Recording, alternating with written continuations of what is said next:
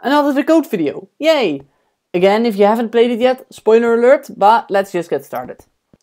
Yep, it's the side slab thingy. But you're just using falling sand! Well, yes I am, but that's not everything. You actually cannot walk through these blocks. When you're just using falling sand, you'll be able to walk through the falling sand and look at all the redstone. But in this case, that's not possible. The falling sand acts as if it's a solid block. But how did you do that? First we'll spawn falling sand using a clock inside this cobweb. This way we don't have to spawn falling sand every tick, so that will be less laggy. But now you can actually walk through the falling sand. So here's what we'll do. We'll place a boat over here. Now use my freeze mobs filter.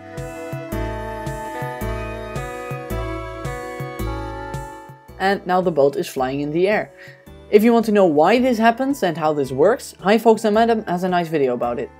So now this boat is not just flying in the air, you can also not move it, and since boats are solid entities, you can still stand on it and it will act like a solid block.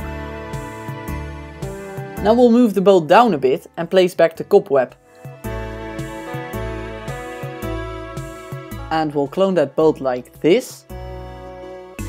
And now the falling sand appears to be solid, even though it is the boat that is actually doing the trick.